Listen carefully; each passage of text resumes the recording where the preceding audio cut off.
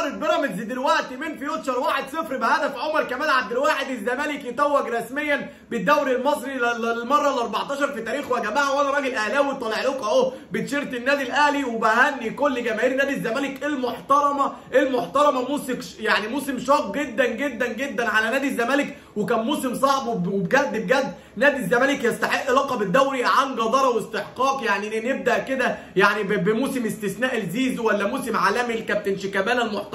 أسطورة نادي الزمالك ولا موسم ولا أروع للمحترم جيزفالدو فوريرا المدرب البروف زي ما بيقولوا ولا موسم أجمل وأروع بدأ مع منتخب مصر من فتوح. يعني يا جماعة بجد بجد بجد. وكمان لن ننسى دور يعني كبير جدا جدا لمحمود حمدي الونش وعواد والشباب طبعا سيد نيمار وعبد المجيد وسيف فاروق جعفر. لا الموضوع كله يعني يوسف أسامة يوسف أسامة نبيه. الموضوع كله يا جماعة بجد بجد بجد. يعني هنفصصه واحدة واحدة وموسم طويل جدا على نادي الزمالك. يعني بدأ كده يا جماعة مبدئيا كده نادي الزمالك زي ما إحنا عارفين بدأ بوقف قيد.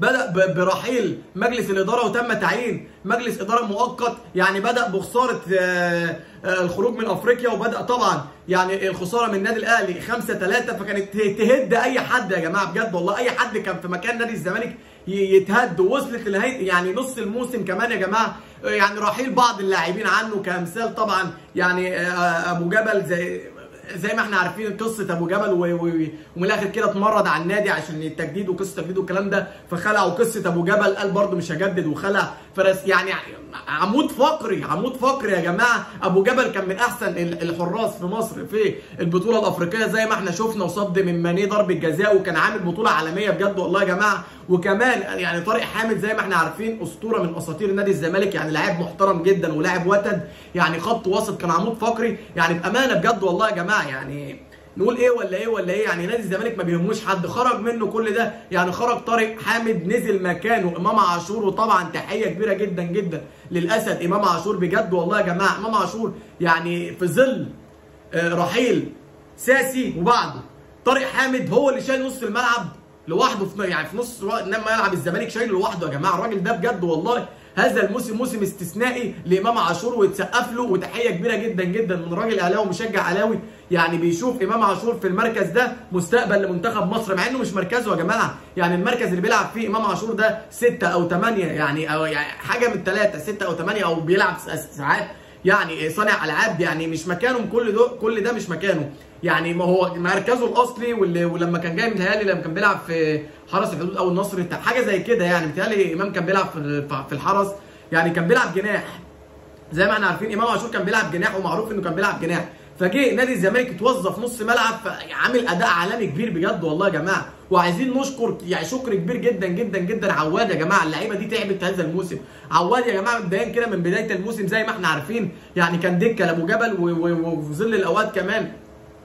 يعني كان بيطلع بره القايمة خالص ويعني كان موسم صعب جدا على عواد إنه يلعب بعد الضجة بعد الضجة اللي عملها أبو جبل ويكون مركز. التركيز ده كله وبأمانة شايل الزمالك في, في جميع الماتشات اللي لعبها عواد. بصراحة كان نقطة فارقة وكان نقطة تحول في يعني مسيرة الزمالك للدوري يا جماعة بجد وبجد بجد بجد. عواد يستحق كل كلمة شكر وكل تقدير من من الجمهور ومن مجلس الإدارة ومن منتخب مصر. لازم عواد الفترة الجاية يكون في منتخب مصر بجد والله والله يا جماعة على حساب أي حد مع كامل احترامي على حساب أي حد يعني يكون يعني الشناوي وعواد هما الاثنين مع بعضيهم كده في, في المنتخب. وأي حد يجي ثالث بقى جاد صبحي أي حد والله يا جماعة. لكن أبو جبل خلاص شكرا يا جماعة. عواد الله أكبر عليه تركيزه عالي جدا جدا جدا. عينه على الكورة كل الكورة الارضيه ماسكها. كورة على الأرض هيمسكها كورة طايرة هيمسكها ضربات جزاء بيمسك. يعني الله أكبر عليه. مركز بجد يا جماعة. وننتقل لنقطة الونش الونش يا جماعة أحسن مدافع في مصر.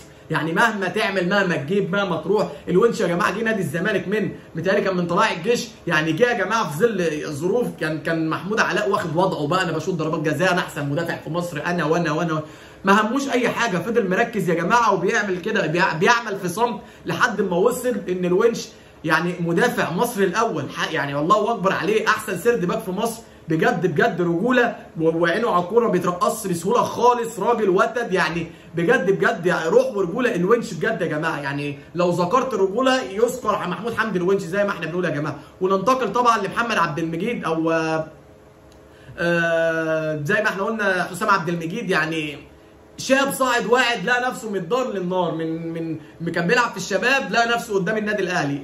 على طول على طول. حسام عبد المجيد وأدى وأدى وفي في ماتشين مكسبهم للزمالك بهدف. يعني هو مدافع وطلع جاب أهداف. يعني الله أكبر عليه. استمر يا حبيبي استمر. ونيجي بقى لمحمد عبد الغني. الله أكبر عليك يا ابني. الله أكبر عليك. محمود علاء قاعد انت انت ركبت. الله أكبر عليك. الله أكبر الله أكبر. وبجد بجد. يعني الله ينور عليك يا ابني استمر. ومالكش دعوة بالحاقدين ولا أي حد ولا أي حد يكلمك من الآخر. ننتقل لنقطة ال back يمين. سيد نيمار يا جماعة سيد نيمار الله أكبر عليه شاب صاعد واعد الله أكبر عليه. ربنا يحميه من العين. ربنا يحميه من الإصابات. أنت مستقبل منتخب مصر يا ابني مع إنه مش مركزه. مركز سيد نيمار يعني بتاع ده جناح أو wing ولكن إنه يلعب back يمين. لا يا جماعة. لقى نفسه برضه متضل النار كان في الناشئين أو في في الشباب مش هقول ناشئين في الشباب لقى نفسه بيلعب قدام النادي الأهلي وأدى وعمل أقصى ما عليه مع إن في مركزه في في مين يعني؟ في مين؟ حمدي حمزة المثلوثي وحازم إمام. ولكن ولكن أحسنهم والله أحسنهم. كان السيد نيمار عامل موسم عالمي ننتقل لنقطة ال back left. بجد يا جماعة فتوح. فتوح بجد والله الله أكبر عليك استمر يا فتوح. يعني back left منتخب مصر الأول بأمانة. back left منتخب مصر الأول أحمد فتوح. الله أكبر عليه من بطولة كأس العرب وبطولة أمم أفريقيا منتخب مصر إحنا عرفنا فتوح وعرفنا إمكانيات فتوح ظهرت جدا جدا في منتخب مصر يا جماعة. الراجل ده لعب على حكيمي يا جماعة الراجل ده هوش حكيمي يا جماعة. فاستمر يا فتوح وكمان يعني عبد الله جمعة استمر يعني الله أكبر عليك بديل. ليه؟ آه فتوح ومع إنه مش مركزك مركز مركز عبد الله جمعة اللي كان بيلعب في إنبي فيه كان كان جناح أيمن ولكن إنه يلعب back left واللي وظفه. طبعا زي ما إحنا عارفين متهيألي كان جروس ولكن أدى فيها على قد ما يقدر. ونيجي برده للثالث كابتن عبد الشافي الخبرة كلها اللي لولا عبد الشافي اللي لولا sorry كابتن عبد الشافي في المركز ده ما كانش هيتألق فتوح ولا كان هيتألق عبد الله جمعة والاثنين دول بيتعلموا من كابتن عبد الشافي يا جماعة. ننتقل لنص الملعب رمانة الميزان إمام عاشور. كلامي فيه مجروح والله يا جماعة. إمام عاشور الله أكبر عليه يا جماعة. يعني بسم الله ما شاء الله رمانة الميزان من هنا وهنا لهنا لهنا انسى. انسى انك تقطع كرة من إمام عاشور. انسى انك تعدي من إمام عاشور. انسى لو الكرة على ال 18 هتلاقي رجل كده مرة واحدة من مدفعج إمام عاشور. استمر يا ابني أنت أمل منتخب مصر.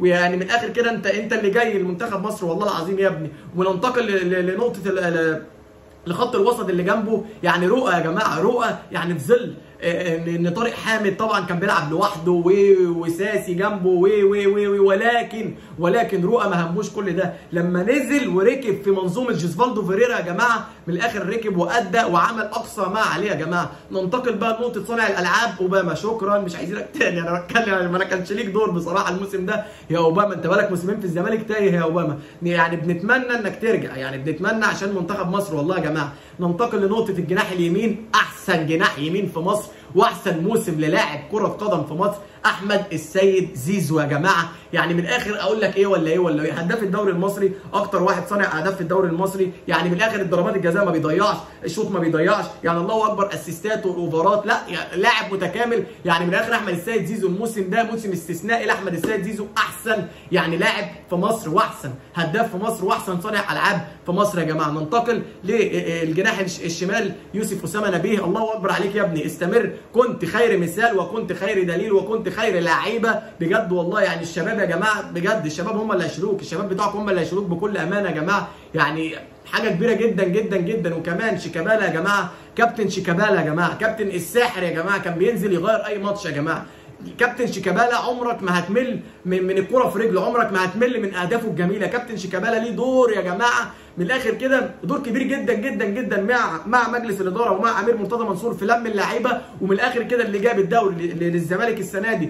مش مش جوه الملعب فقط ولكن بره الملعب أكتر من جوه الملعب. شيكابالا يا جماعة في لم اللعيبة بأمانة والله يا جماعة وبندي له حقه وأسطورة من أساطير نادي الزمالك. وننتقل للهداف سيف الدين الجزيري يا جماعة سيف الدين الجزيري فرق جدا جدا جدا مع نادي الزمالك من من بداية نص الموسم نص الموسم اللي قبليه أو من بداية الموسم كان عمر السعيد يا جماعة. فننتقل بقى لعمر السعيد وسيف الدين الجزيري. بجد كان ليهم تأثير جدا جدا جدا مع نادي الزمالك. ونيجي بقى للكبير الكبير العالمي ال prof جيسفالدو فيريرا. بجد والله يا جماعة هتبقى عاجز قدام الراجل ده. أنت بتلاعب الراجل ده. هيديك الكورة. هتعمل هجمات. هتعمل أي حاجة من الآخر كده ولا هتسجل ولا هتخرج بالثلاث نقط ولا تخرج بنقطة حتى هكسبك هكسبك. مهما تعمل هكسبك هكسبك. بجد والله سقفة لكل يعني نادي الزمالك لكل لعيبة نادي الزمالك لكل شباب نادي الزمالك لكل مجلس إدارة نادي الزمالك لكل جهاز الفني لنادي الزمالك لكل جماهير نادي الزمالك. ألف ألف ألف مليون مبروك. والدوري في متعوبة وتستحقوا بجد بجد والله العظيم. الدوري ال 14 في تاريخكم النهارده اتحسم بعد خسارة بيراميدز من فيوتشر 1-0 بس بجد بجد يا جماعة موسم استثنائي لنادي الزمالك موسم صعب لنادي الزمالك كانوا يستحقوا عليه الدوري. وبجد بجد بجد يعني كل الناس يا جماعة في الكومنتات تقول مبروك لنادي الزمالك ويكون في روح رياضية كبيرة جدا جدا. وكان معكم إبراهيم سمكة من قناة إبراهيم سمكة على اليوتيوب. بطلب من كل الناس اللي بيتفرجوا علينا يعني like share subscribe للقناة لو أول مرة تتفرج علينا. ويا ريت تفعل زر الجرس عشان يوصل لك كل جديد والدوري في 100 عقبه